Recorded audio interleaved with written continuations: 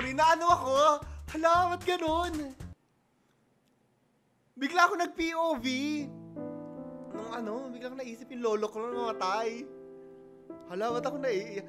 Alam mo, lagi ko naisip yung lolo ko. Hala, trigger. Na-trigger ako. ah, ba't ganon?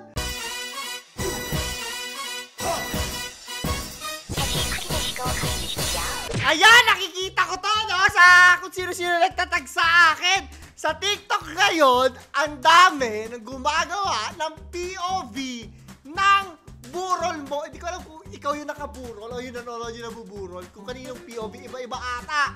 Pero ayan yan. And for the thumbnail, sige, mag, ano tayo, magburol tayo for the thumbnail. Oh. Mm. Ah, picture ha, sound effects ha. Ah.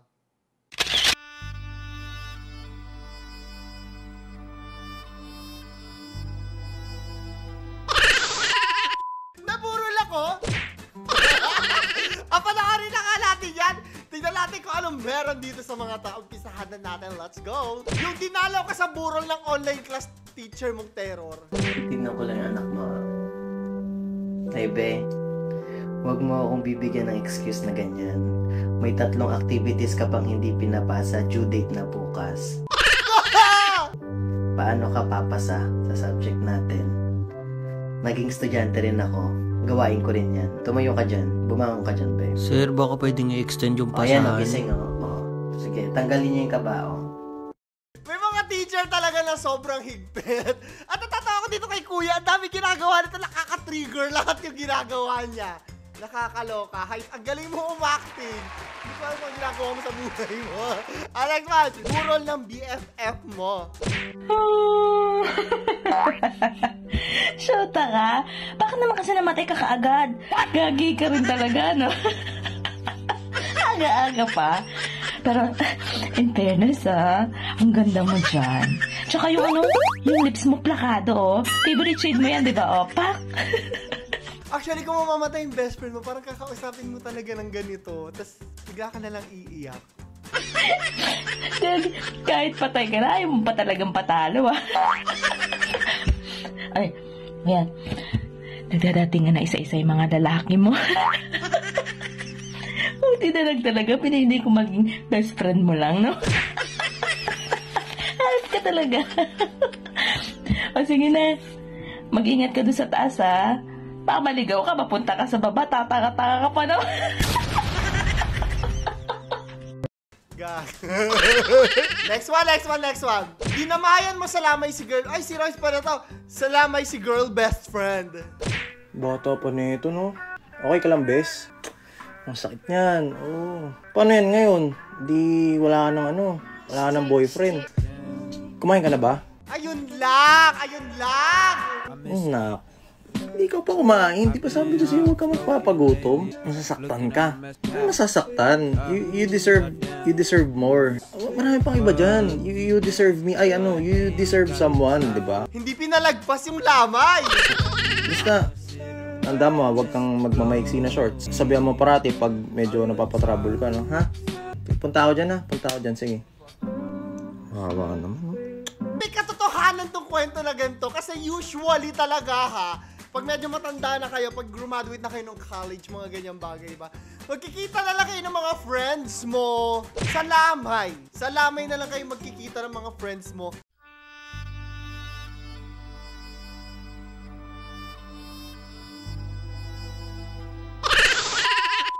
At maraming nagiging magshota dun sa lamay.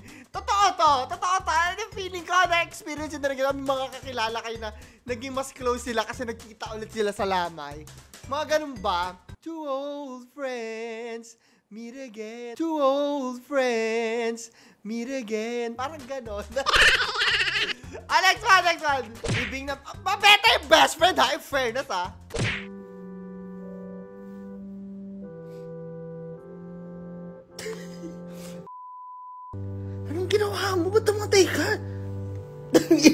Nete. Ano bang ginawa mo? Bobo ang puta. Ano ba yan? Sabi ko sa'yo, huwag kang mag-swimming nang hindi mo kaya.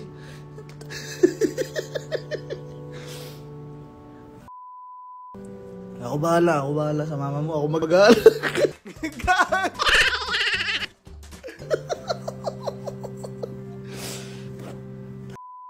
Ang bobo mo eh.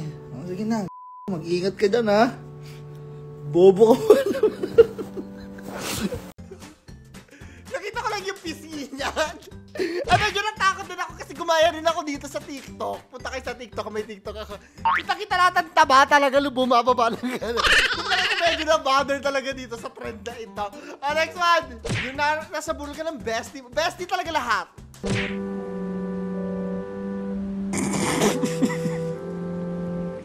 Pangit. Patay na nga, ang pangit pa rin. uy, uy. uy, sorry.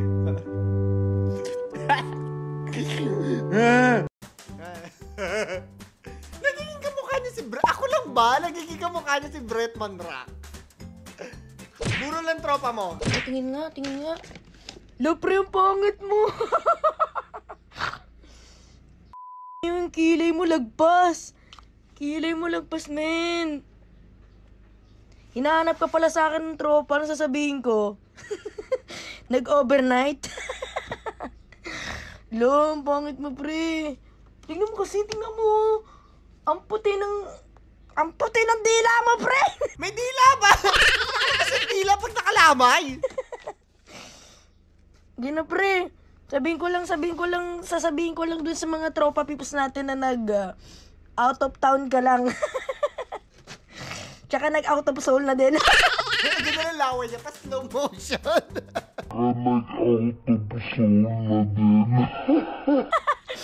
Talsik mo, lumalaway pre. In-acknowledge niya naman. Talsik mo, lumalaway pre.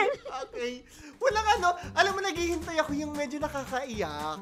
May gumawa, may gumawa na mag ano, yung sineryoso talaga yung ano, yung lamay. O, sabi dito, nasa burol ka ng kaibigan mo. my God, best friend. Char, hindi kita iiyakan sis. Hindi naman kita jowa, di ba? Ba't naka, nakahiga ka dyan? Oh my God! Dumangon ka dyan, hindi bagay sa'yo. Grabe sis, ang init-init dito. Papatay-patay ka dyan eh. Init-init tuloy, nagpirwisyo ako. Hala sis, nandyan yung Chang Marites na inutangan mo. Kausapin ko, wait lang. Chang Marites, grabe ha, patay na to. Paubayain mo naman yung utang na pinautang mo si Pilyo. Hindi naman siya magsisipilyo sa heaven eh.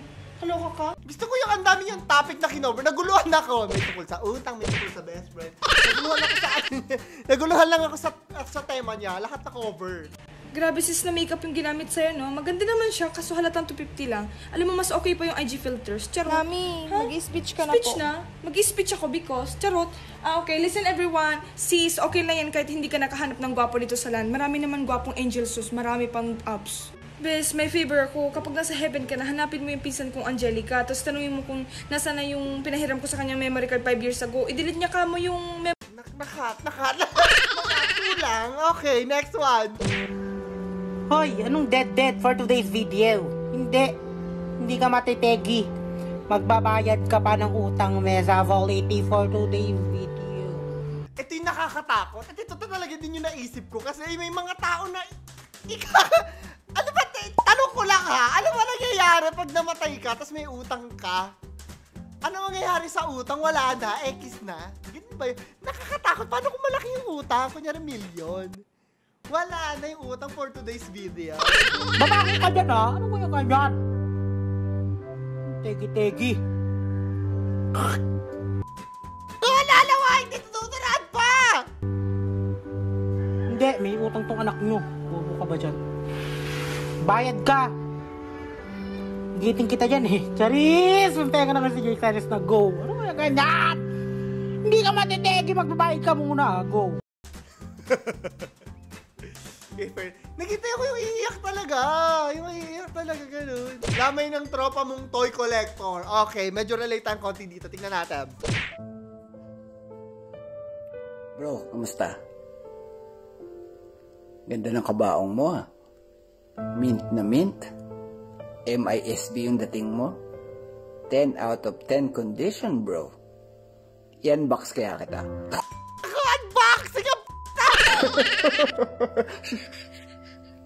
Joke lang, joke lang, joke lang. Oo nga pala, bro. Yung bilin mo sa akin na burahin yung mga messages mo dati regarding dun sa mga transaction mo sa mga laruan. Nabura ko na, bro. Sorry na ano ako. Hala, ba't ganun? Bigla ako nag-POV. Nung ano, bigla ko naisip yung lolo ko nung namatay. Hala, ba't ako naiiyak? Alam mo, lagi ko naisip yung lolo ko. Hala, trigger. Na-trigger ako. ah, ba't ganun?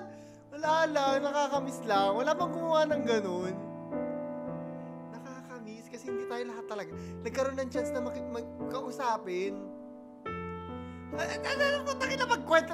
Nung nawala kasi yung lolo ko, wala ako sa bahay. Yun yung first time ko na lumalaban pa lang sa sa YouTube, sa ano tawag dito, sa sa Facebook, sa live stream. At wala pa talaga ako kinikita, nag-start pa lang talaga ako. So hindi ko nabigyan, yung lolo ko yung pinaka-close ko talaga sa aming pamilya. So hindi ko siya na, hindi ko man lang na-spoil yung lolo ko kasi yung lolo ko talaga yung nagbibigay sa akin. Bigla nagkano yung utak ko, bigla nagpunta doon. Pati yung mga PO mo na parating pa lang, napakancel ko na. Kaya huwag ka nakabahan. Hindi malalaman ng misis mo. Oo nga pala bro. Yung misis mo, pinamigay lahat ng laruan mo bro. Lahat, walang tinira bro. Hindi ko alam kung bakit ganun-ganun lang niya pamigay yung mga laruan mo eh. Siguro sinabi mo dati mura lang yun, no? Tarantado ka talaga eh, no? Tingnan mo, tingnan mo. Yung pinakamahal mong laruan, hawak ng pamangkin mo, ayun no. Bro, ginawang Lego. Hiniwai-walay.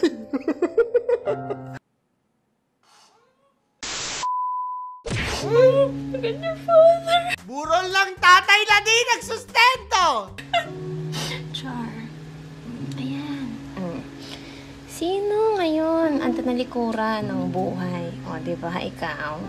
Ah, karma-karma lang yan. Tignan mo, ang dami pang anak dito. Shoota ka. Ah, ano ngayon? Sarap dyan humiga, no? Na, tinan mo, imbis na yung pinanlamay mo dito, binigay mo sa amin, edi, sana wala tayong problema. Ah, hindi ko alam kung may mga ano dito, no? Pero mag-family planning tayong lahat. Lahat tayo. Kasi ikagaya nito pag hindi mo nasustentuhan, di ba? Hindi mo nabigyan ng magandang buhay yung anak mo. Tapos, tinaka, lalo na yung ganito yung mga tinatakasan. Ito yung pinaka nakakairita yung mga tinatakasan yung responsibilidad talaga. Di ba? Kawawa naman. Ang hirap no maging single parent. So, nagigets ko talaga yung anger ng mga kagaya. Marami kasi talaga, aminin natin, marami yung mga single parent, di ba? Na bata pa sila, tapos sila lang mag-isa yung bumubuhay sa anak nila. Ang hirap nun. Ako nga, tanda ko na eh. Medyo kumikita na ako ha. Pero parang ang hirap mag-anak pa. Kung isipin ko, parang hindi ko pa kaya. Financially. Paano pa kung mas bata ka at wala ka pa naman pang ah, career na tina- tinata- tinatahak, di ba? Mahirap yon So, ah, hi sa lahat ng mga single parents dito. At saka yung mga yung tatay na hindi nagsusustento ng anak, dislike, dislike, dislike you. wala akong masabi, sorry. Ah, ay, wala, wala po na ipundar. Wala din naiwang savings. Taka, kala ko may makiklaim ako. Hmm, sige na. Diyos ko, nagasolina pa ako. Sayang lang. Rest in. Wag na. yung shades niya, di, ba yung shades ng mga artistang ano? artista na, alam mo yun, uh, artista kunyari nasa lamay or nasa, pag may pa, idedemanda. Social yung shades niya. Gusto ko rin ng ganyan. Anyways, yun lamang po video natin para sa araw na to. Hoy, may TikTok ako. At ah, abang kayo bukas kasi gagawin na natin yung topic natin na the real appearance of Satan. Napakarami nagre-request na akin. Ang gwapo daw ni Satan. Tingnan natin. Hindi ko pa nababasa. I-research ko yan. Punta kayo dito sa video natin bukas. Panonoorin natin yan. So yun lang po. Ito si Clara the third. Nagpapalam. Huwag kalimutan na mag-like, share, subscribe, and hit the notification. Pasok na tayo sa kabaong